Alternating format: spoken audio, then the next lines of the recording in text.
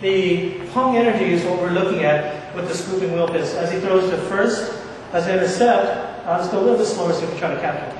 The interception point, I'm going to keep just the right amount of pressure to keep him continuing forward. Go ahead and start.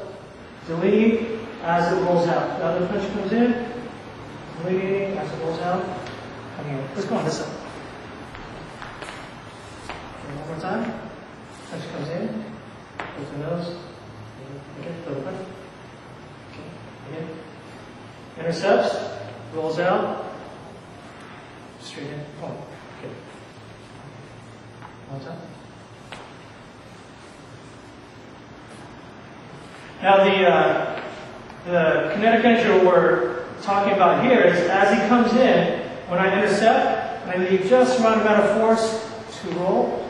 Keep an eye on this hand as it comes in and up. And this is what we're looking at here. So the right hand is going from here and up. Keeping this pong energy, this expansive, kind of like when uh, you get bumped on the head and it swells up. That's what we want. It's commonly translated as warding off, but that doesn't quite capture the quality of this expanding kind of energy. So we intercept and up. So, generally that quality of kinetic energy in receiving and redirecting and applying. He's going to do a technique called filing, where he's going to cut across the sword, stab, or even cut here. The common counter is a technique called hold. Let's go from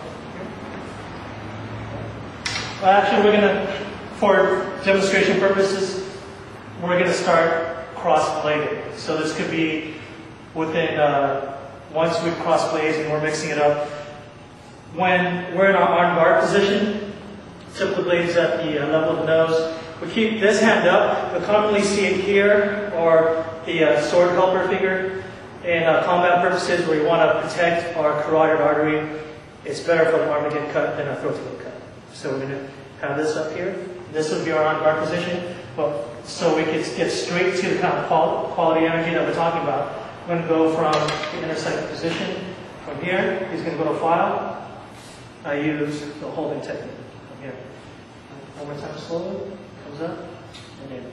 Now the reason why I'm dropping my hand here is to assist the wrist in maintaining the structure.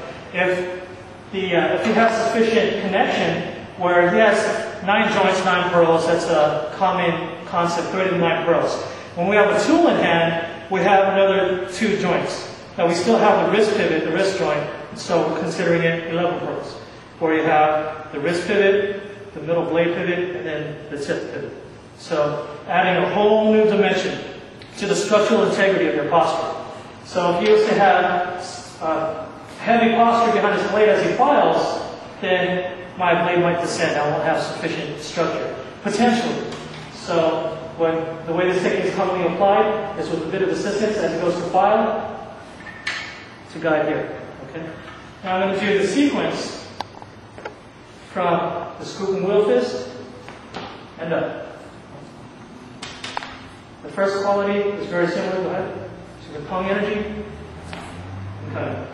We want to maintain just the right amount of pressure because if I over neutralize, then he'll follow in and cut. So with this whole principle, we want to maintain contact and maintain his resistance. We want to provoke his resistance just like we would, uh, just like we would in this position, where if he was going forward, if I cross all the way, he didn't follow necessarily. To some degree, follow, but not so much.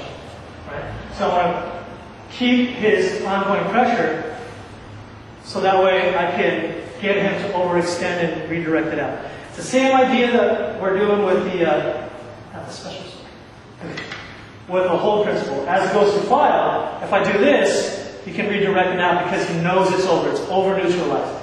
What I want to do is just neutralize it just enough so that the barrel of the gun is not pointing towards me.